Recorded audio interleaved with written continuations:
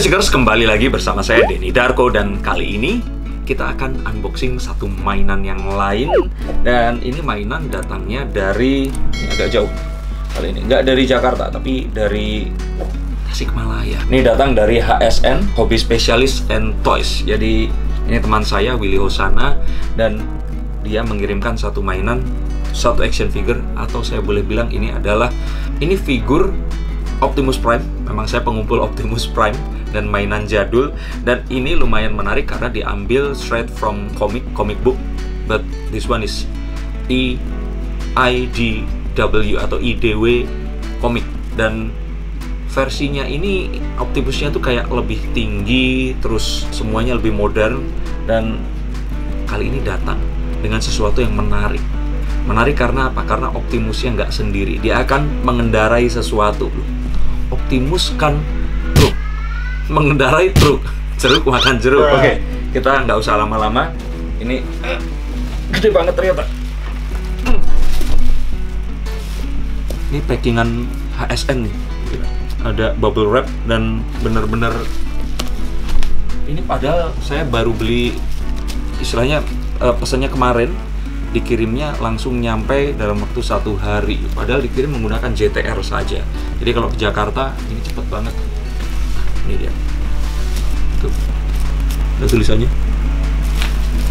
Dikirimkan dari oh ini dikirimnya dari Bandung ternyata Hazet Mustafa. Oke yuk kita langsung akan buka. Boleh pinjam pisaunya? Teman-teman hati-hati kalau buka seperti ini hati-hati keselamatan kalian dan hati-hati keselamatan kardusnya.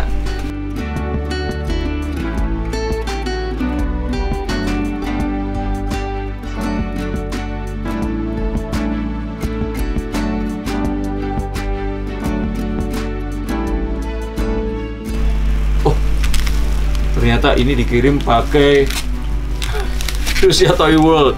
Tapi saya hargai karena dia kayaknya nggak pengen ini rusak saya turunin aja ya.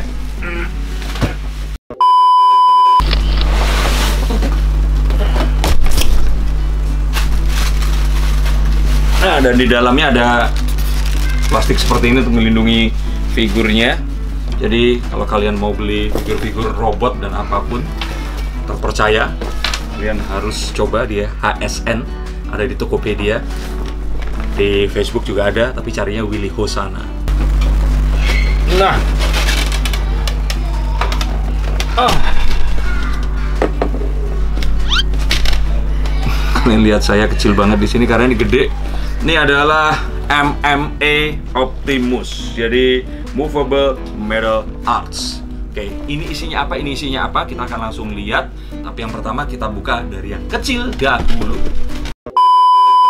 Ini pertama kali dikeluarkan si Optimus IDW ini atau IDW ini benar-benar naik motor ini. Dan semoga ini isi yang Optimus. Made in China. 2019 hmm, dusnya seperti ini. Dusnya sengaja nggak dibuat dengan sesuatu yang uh, menggambarkan isinya karena nanti kena copyright infringement. Dan ini tulisannya living body robot slaughter lair kita akan keluarkan. Kalau ngerasa begini nih kayak main oh, udah kebuka. Kirain ada tutupnya lagi.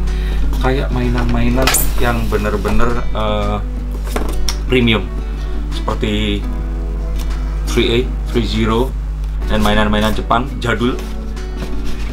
Kalau mainan-mainan China biasanya dia nggak pakai yang ini ya yang premium ya yang non premium. Nah ini aksesorinya. Saya akan buka.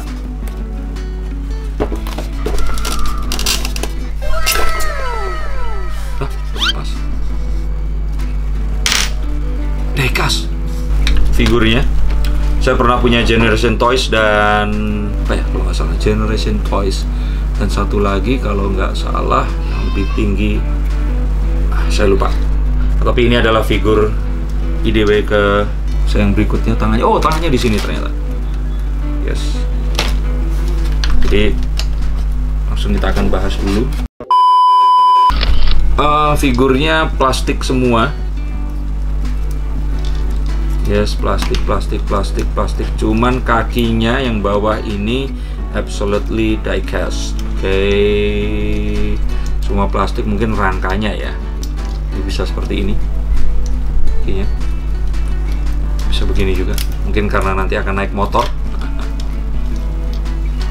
Dan harusnya kalau bisa naik motor dia agak bisa ngangkang. Ya betul sekali. Yes. Tadi ngerecet yang mana ya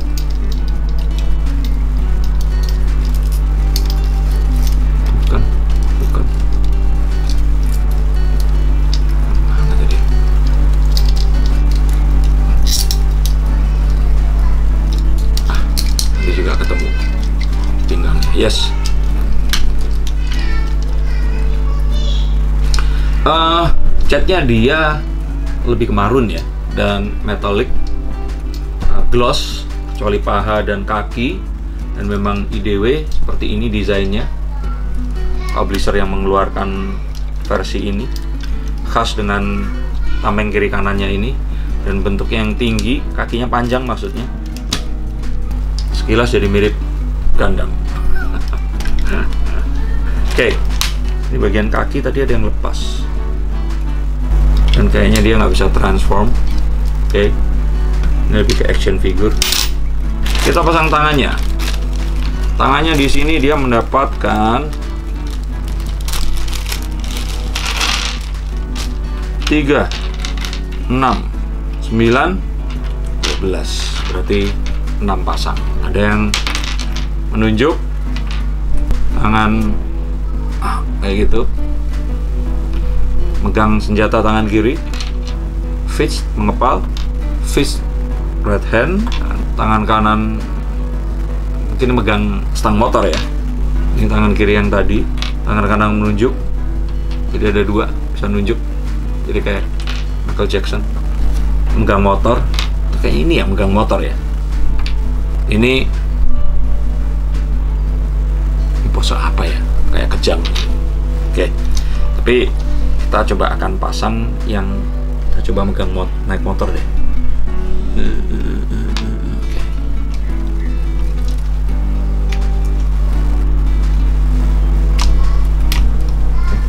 Kayak ada dart nih dart ke dalam. Oke kumpulkan lagi. Masuk ke kandang. Tingginya ini tinggi leader class lebih kecil dibandingkan uh, KO KO yang lain. Jadi kalau misalkan leader class uh, official nah tingginya sama seperti ini. Jadi mungkin kalau ditaruh di koleksimu pasti akan sama. Nah dan dilengkapi dengan blasternya kiri kanan. Mungkin menganut mazhab John Woo seperti itu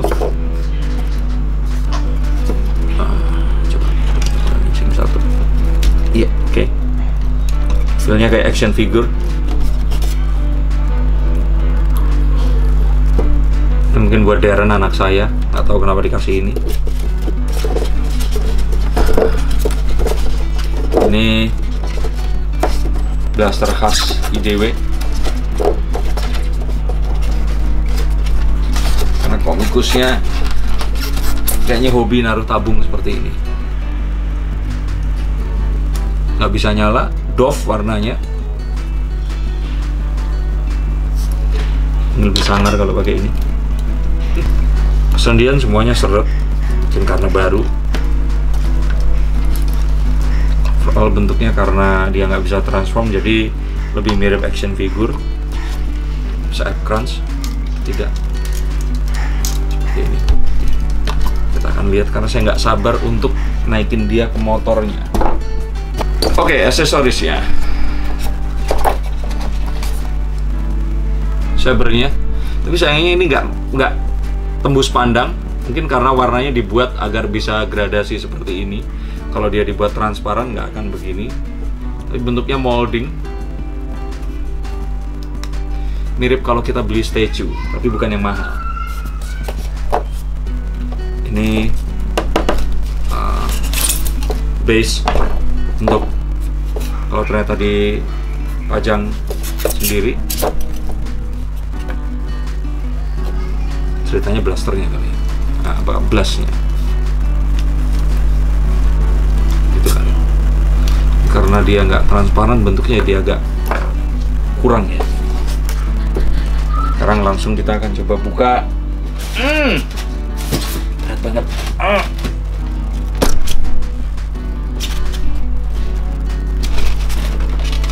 Ini sudah dikasih tahu isinya apa aja. Jadi isinya ada di sini semuanya. Uh, body robot deluxe. Apakah ini dijual berasingan? Kalau orang Malaysia bilang gitu dengan robotnya. Tapi seharusnya dia satu set.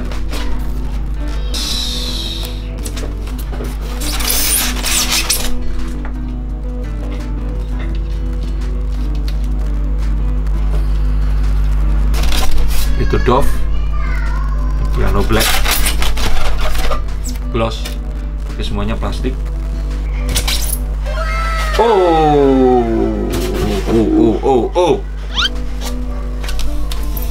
Guys inilah motornya. Ingat Tron nggak sih? Kita keluarin ya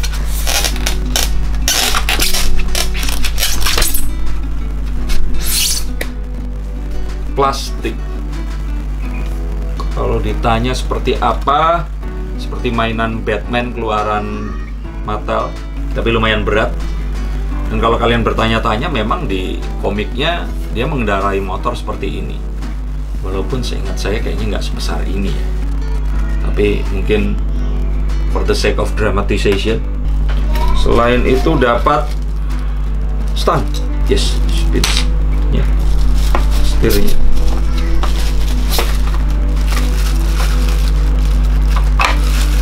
nggak tahu untuk apa keluarin dulu aja oh ternyata stangnya bukan itu ternyata stangnya adalah belati ini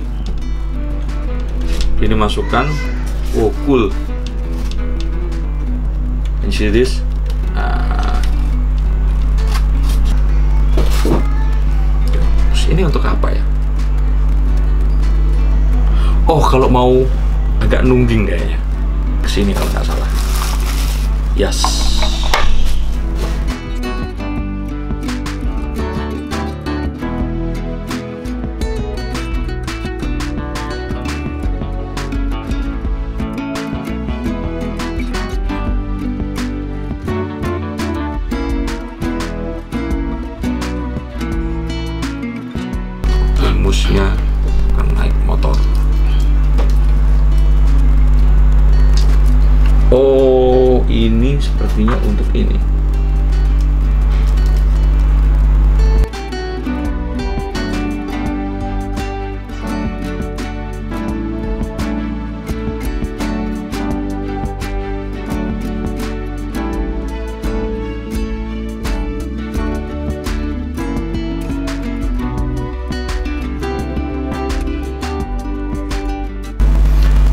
Dong ininya. Kayaknya jangan terlalu dipaksa rok depannya ini. Jadi ini harus dilem sepertinya nanti. Jadi plastiknya mungkin bukan plastik yang lumayan kuat di sini. Ini, ini lebih ke statue kali ya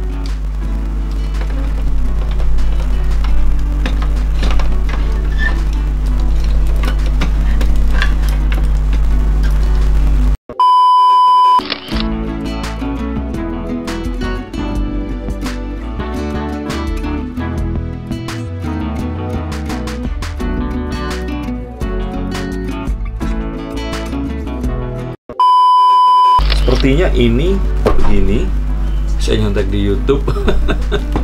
Uh, karena memang ini nggak datang sama instruction instructionnya ya dibalik itu tadi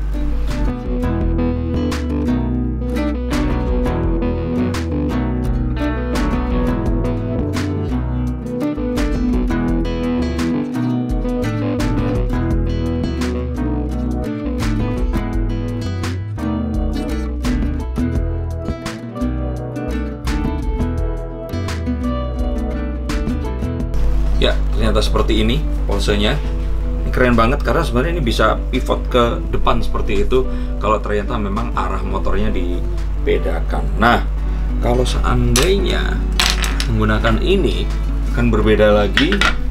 Kita akan coba mendingan begini atau mendingan yang mana ya? Nah, ini keren banget sih seperti ini.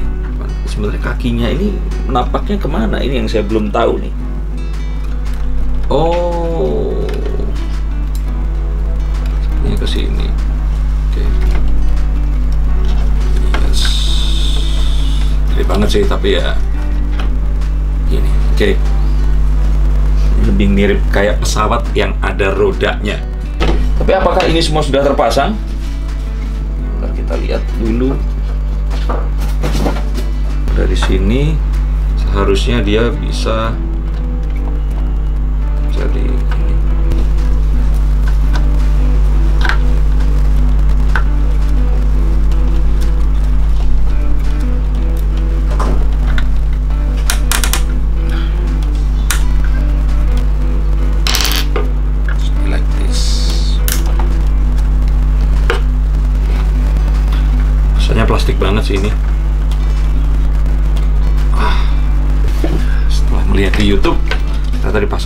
seperti ini.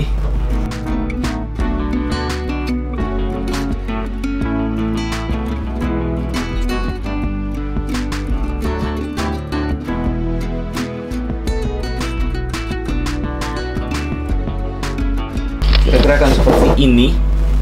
Apakah bisa dibawa di tempat lain lagi senjatanya? Saya nggak tahu. Nah ini adalah setup jika ternyata kita oh karena depannya di sebelah sini ternyata saudara-saudara. Begini baik. Jadi kalau seperti ini ini akan dihilangkan. Karena bagian ini sebenarnya adalah bagian menaruh kalau dia ditaruh seperti ini.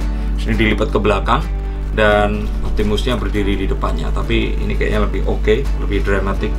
Ini akan saya simpan dulu. Senjata-senjatanya ada uh, X ya kapak lagi yang berbeda tapi ini adalah setup yang paling saya sukai. Jadi ini adalah IDW MMA Optimus Prime. Optimus naik motor. Overall ini keren. Di sini sebenarnya juga ada lampu. Nanti lampu remnya juga nyala. Ada saklar di sini tapi belum saya ganti baterainya. Dan ini harganya di bawah 3 juta rupiah uh, diberikan oleh HSN terima kasih untuk HSN dan ini saya pikir satu penerjemahan yang lumayan mirip walaupun ini lebih cocok sebagai pajangan jangan dimainkan dilihat dari durabilitas si figurnya kayaknya nggak cocok untuk terlalu banyak dimainkan seperti figur-figur yang lainnya. Mungkin GT, oh ya GT Toys kalau nggak salah. Itu, itu Generation Toys. Ya. Generation Toys. Satu lagi saya lupa apa. Nah, kalau mau mainin mendingan yang itu, walaupun itu sebenarnya juga nggak terlalu transformnya susah. Ada orang yang transform sampai satu setengah jam waktunya. Ini adalah satu figur yang memang cocoknya setelah dimainin bentar, ditaruh terus dipajang seperti ini. Tapi untuk kalian semua yang kolektor Optimus Prime, ini juga wajib karena belum pernah saya lihat satu figur Optimus Prime yang naik kendaraan yang lainnya terutama motor dan memang di komiknya digambarkan ini keren banget walaupun motornya lebih kecil tapi ini lebih terasa gagah untuk kalian semua ini adalah detil dari IDW MMA Optimus Prime terima kasih sudah menonton video ini dan ini artinya saya harus mengakhiri video ini dengan pesan yang sangat memotivasi yaitu mendingan nyesel beli daripada nyesel nggak beli Terima kasih. Tonton video saya yang lain.